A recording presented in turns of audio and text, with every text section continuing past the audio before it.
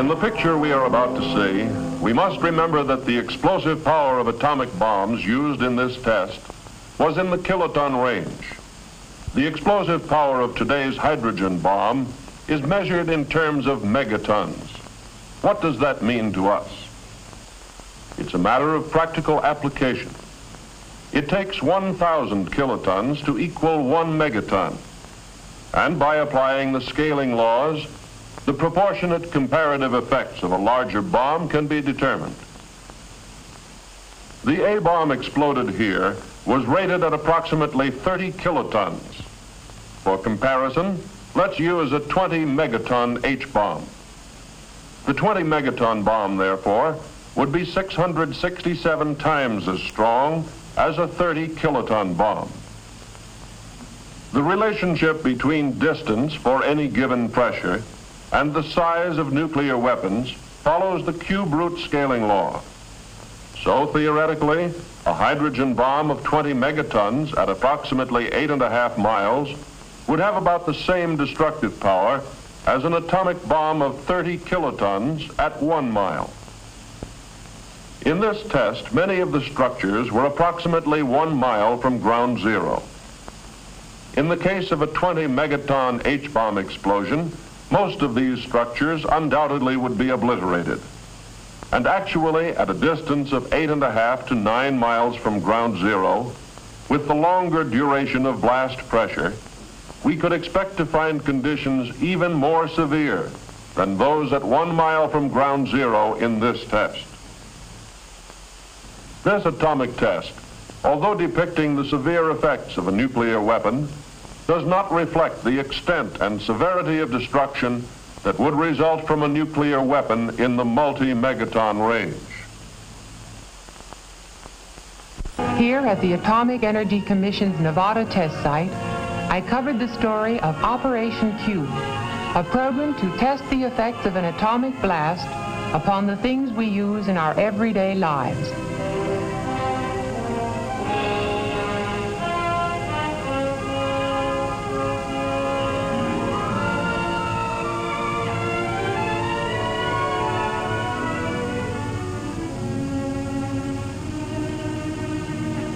Operation Cue, the atomic test program of the Federal Civil Defense Administration, as seen by Joan Collin, reporter.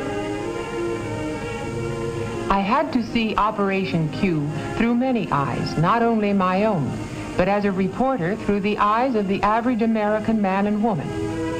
I arrived at Civil Defense Headquarters the day before the explosion was scheduled to take place and checked in at once with the official who was to brief me about the test. To give me a perspective of the entire layout, a member of the Civil Defense staff showed me a carefully prepared model of the site. The scope of the test and the detailed care with which it had been planned amazed me as I listened to the explanation. We begin with the question of shelter. For shelter might save our lives if we were far enough away from ground zero. If so, what kinds of shelter are effective? Several kinds are to be tested, from elaborate industrial shelters to the box-type shelter in the corner room of a basement. This type would give more room for a family, especially if it were necessary to remain there for several days. In this frame house without a basement, at the 4,700 foot line, we will test a bathroom shelter built of reinforced concrete. The entrance door and outside window covering are designed to resist blast. I asked about the possible loss of utilities and what this would mean to survivors. No electricity for running a home or an industrial plant. Loss of power may be one of our biggest problems after an attack.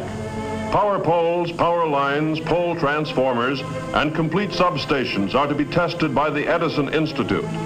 How will they withstand this blast? How long will it take to make repairs? How soon can service be reestablished? These are things we hope to learn from the test. One complete transformer substation has been erected relatively close to the shot tower. A second substation and power lines have been placed at a much greater distance from the tower. Thinking about news during an atomic attack, I asked about radio towers. two kinds are to be tested. One tower is self-supporting without guy wires. The other has supporting cables. Both types are very common. Nearby, a complete radio transmitter will actually broadcast from tape before the shot to be picked up by radios in the test houses. Both liquefied petroleum and natural gas facilities will be tested. Will the fittings and connections stand the test? Will there be fires? All equipment is installed and checked by technical experts from the LP Gas Association and the American Gas Association an 18,000 gallon supply tank partially filled with propane and complete with feed pipes. A weighing and storage house and delivery platform have been erected on the test site.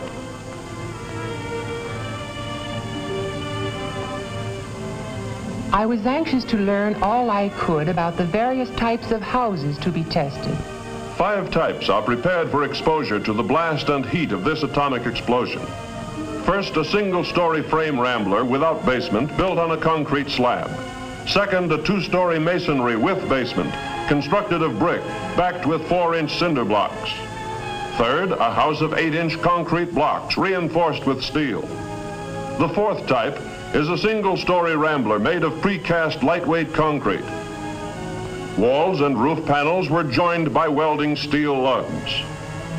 The fifth, at the 5,500-foot line, is a redesigned house similar to one previously tested. This new design provides additional strength at a cost increase of approximately 10%. That's the real purpose of testing these houses, to find their weak points. Through the cooperation of the furniture and appliance industries, household furnishings were installed in the houses. Mannequin families supplied by private industry are to represent Mr. and Mrs. America. Interior home furnishings donated by industry are complete in every detail. I looked at the mannequins sitting about so indifferently. Naturally, I was very interested in preparations for the testing of textiles and synthetic fabrics. Rows of mannequins were set up in the open facing the blast. Each item of clothing and each color had been carefully selected to give much needed survival information. I was especially interested in the food test program. Canned and packaged foods are to be tested. As a mother and housewife, this appealed to me. I had several questions to ask. Would food in the average home be safe to eat after a blast? Food testing in Operation Cue is planned to answer this and other vital questions. Some foods are to be tested in the house, stored in the usual way. Other foods, including fresh meats, butter, and similar perishables, are to be tested just below the level of the ground at three positions along the main test line. This will expose the food to high-intensity radiation without risking destruction of the containers. Test items include sterilized foods packaged in cartons, metal, and glass. All will be exposed according to plan to give us the most survival information. The night of the actual explosion, or rather early in the morning, came at last. On Media Hill, television equipment was ready to bring the test into homes from coast to coast. Reporters, commentators, military and civil defense observers all had a purpose, to study the results of this explosion. At a position a mile forward from Media Hill, the Civil Defense Field Exercise Group had assembled with their equipment.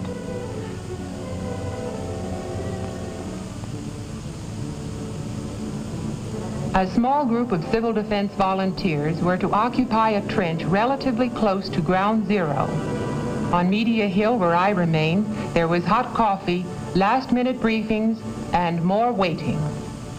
But it seemed no time at all before the loudspeaker warned, H minus one minute. Put on your goggles. Observers without goggles must face away from the blast. On the silent desert, the test objects waited. H minus 10 seconds. Nine, eight, seven, six, five, four, three, two, one, zero. 6, 5, 4, 3, 2, 1, 0.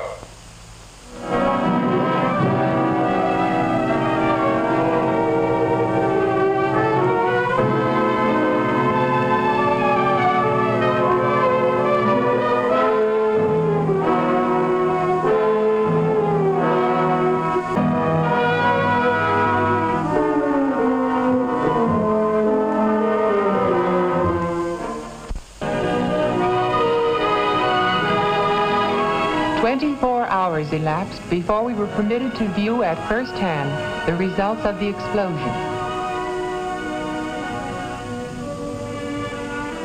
Let's see how the blast affected the houses. This is what remained of the masonry house that was not reinforced.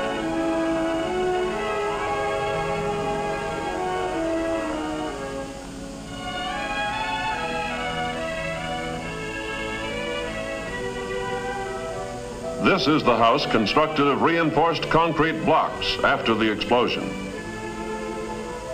Although the redesigned two-story frame house was severely damaged, the structural improvements had strengthened its resistance considerably. As seen here, although basement shelters offered some degree of protection, they cannot be depended upon completely in potential blast areas. The reinforced bathroom shelter was standing intact beneath the ruins of the house, so this type also offered some degree of protection.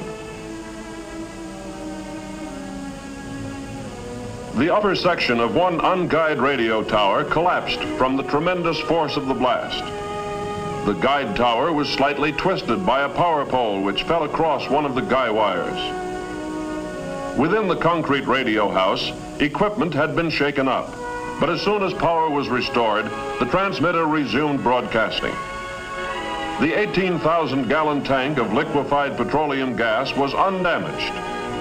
Tests showed that even the connections were intact. The weighing and storage house was scattered across the desert, but the consumer-sized tanks were unharmed. Power lines and transformers suffered some damage, but most of the power poles were still standing or could be repaired. The power substation was not seriously harmed. Edison Institute personnel tested all lines and found the station to be operative. The food and cases of canned goods were taken away for laboratory tests. Do you remember this young lady? This tattoo mark was left beneath the dark pattern. And this young man, this is how the blast charred and faded the outer layer of his new dark suit. During all this activity, the mass feeding group was improvising to feed the test observers. I particularly remember some roast beef. It was done to perfection and roasted in cans which could have been salvaged from demolished buildings. I watched the people eating and realized that mass feeding is an important job in civil defense. I took a last look at the debris and devastation. This time it was only a test, a well-planned test, not a real attack. It was a test of the things we use in everyday life. Many lessons were learned from this test that affect civil defense planning and it must be borne in mind that multi-megaton weapons